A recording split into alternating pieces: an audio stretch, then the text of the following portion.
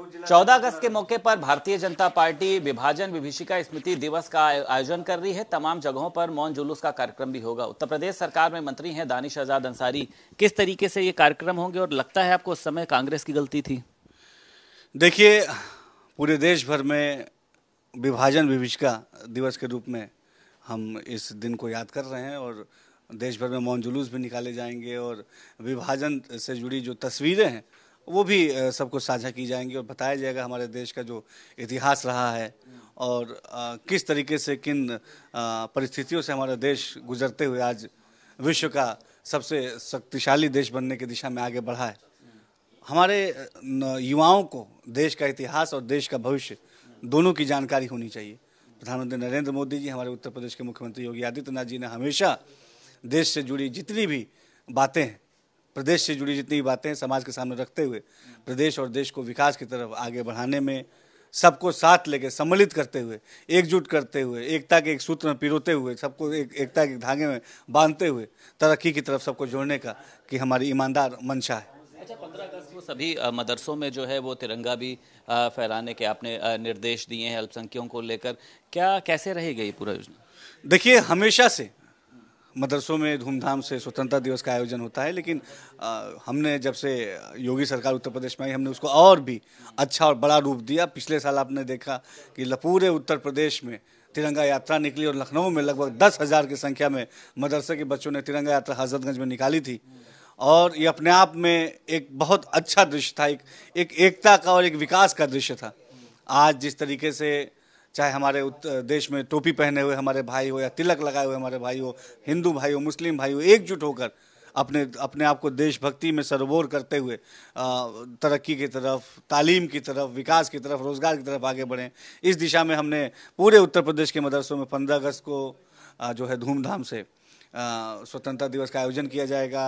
सेनानियों के बारे में चर्चा की जाएगी। हर घर तिरंगा अभियान के तहत मदरसे के बच्चे, अल्पसंख्यक बहुल क्षेत्रों में तिरंगा लेके लोगों को अपने घरों में तिरंगा लगाने के लिए प्रेरित भी करेंगे। तो अपने आप में ये बताता है कि हमारे नौजवान ज़िम्मेदारी के साथ अपने शिक्षा, तालीम की तरफ़ भी बढ़े और जो उनकी सामाजिक ज़िम्मेदारी है, उसका भी वो निर्वहन करें। सपा सांसद एस टी हसन ने भी ये कहा है कि जो भाजपा है वो अपनी एक ब्रांडिंग कर रही है। खाली जो डीपी लगाने से ही हम देशभक्त थोड़ी नहीं हो सकते। हैं और हम नहीं लगाएँगे डीपी तो क्या हम देशभक्त नहीं हैं? देखिए, समाजवादी पार्टी का एक अलग एजेंडा है, समाज से अलग हटके। उस, वो कभी समाज में एकजुटता वो लोग नहीं चाहते।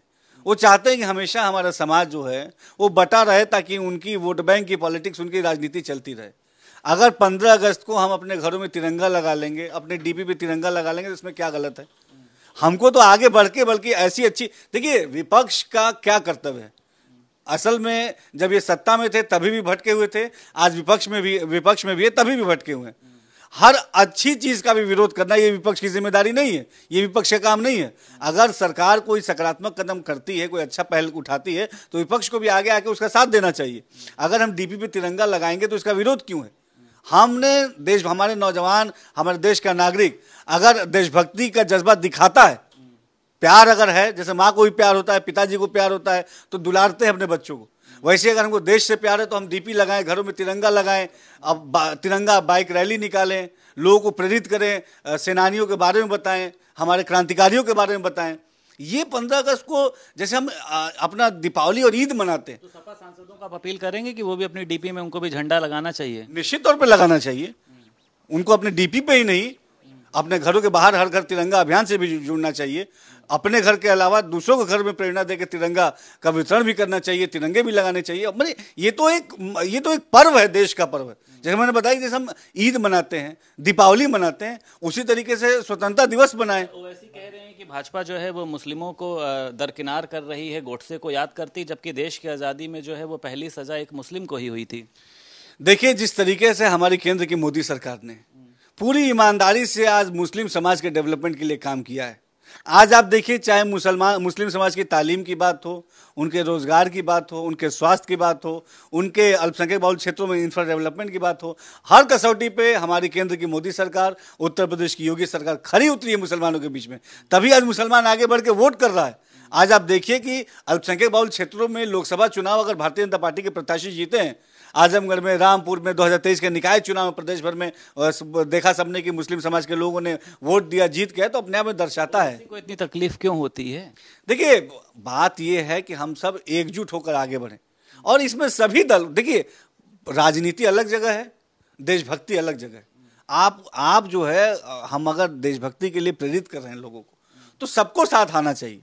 सबको तिरंगा यात्राएँ निकालनी चाहिए, हर घर तिरंगा अभियान जुड़ना चाहिए, विभाजन, विभीषिका के बारे में सबको बताना चाहिए। तो ये तो देश की बात है ना?